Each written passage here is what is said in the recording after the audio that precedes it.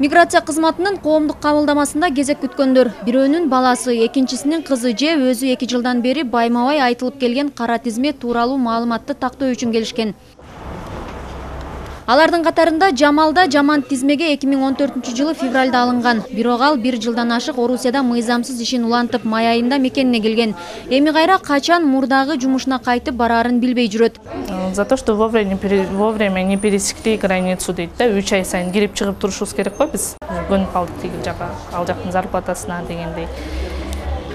Эми биякта андай возможность жок бизде Кыргызстанда. Ар кандай тартип бузуулар менен Орусияга 3 жылга чейин кирүүгө тыюу салынган 77 миң кыргызстандыкка жеңилдик берилди. Бул тууралуу макулдашуу 19 июнда Петербургда эки өлкөнүн тиешелүү мекеме жетекчилери кол коюшту. Ага экономикалык форумга катышууга барган мамлекет башчы Алмазбек Атамбаев катышты. Документке ылайык эки өлкөнүн жарандары мамлекеттерге милдеттүү түрдө каттоодон өтпөстөн 30 күн бою жүрө алат. Эгер иштөөнү кааласа 90 күндүн ичинде жумуш берүүчү менен эмгек келишимин түзүп чексиз убакытка чейин жашап иштей берсе болот. Макулдашуу 19 июлда күчүнө кирет. Буга байланыштуу өлкө президенти Орусияда иштеп жүргөн мигранттарга түшүндүрүү иштерин жүргүзүүнү биздин тиешелүү мамлекеттик органдарга тапшырма берди. Ошондуктан жарандарды кара тизмеден чыгаруу боюнча Орус бийлигинин талаптарын жакын арада биз тиешелүү иштерди аткарып баштайбыз.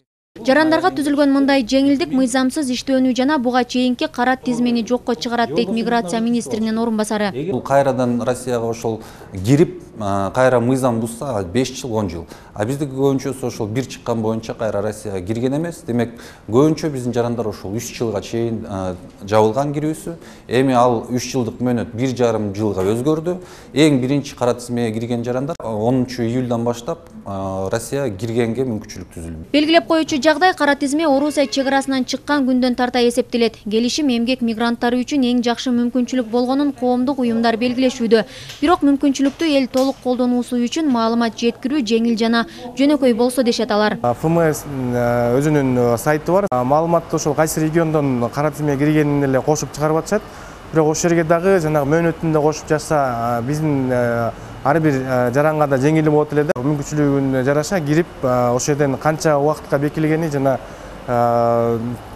канча убакытты калганы дагы ушу так билинбек да. Башкысы кара тизмедегилердин мөөнөтү кыскарды. Дагы тизмеге кирип калышы мүмкүн делген эки жүз миңдей кыргызстандыктын ага такыр кирбөөсүнө мүмкүнчүлүк түзүлдү. Ал үчүн мыйзам бузуу менен иштеп жүргөндөр онунчу июлдан биринчи ноябрга чейин федерация аймагынан чыгып кайра өлкө аймагына тоскоолдуксуз кирип аракетин легалдаштыруусу керек.